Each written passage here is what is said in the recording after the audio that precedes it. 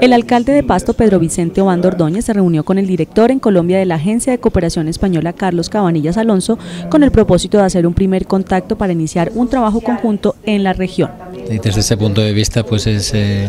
fundamental conocer eh, las prioridades que en el marco de los procesos de planificación que se están llevando a nivel departamental y a nivel municipal,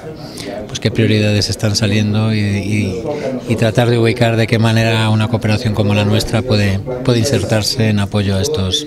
líneas y prioridades de trabajo. Según Cabanillas Alonso, se encontró grandes coincidencias en las líneas prioritarias del Plan de Desarrollo Municipal y su propio plan de acción, lo que hace más factible poder coordinar acciones conjuntas en el municipio. Se ha hablado de temas de agua y saneamiento, que nosotros también un poco estamos trabajando, y, posiblemente quepa seguir hablando un poco de otros ámbitos de trabajo relacionados con construcción de paz, con víctimas, con eh, con el tema de, tierras, a lo mejor de, memoria histórica. Pero como digo, la primera, la única intencionalidad era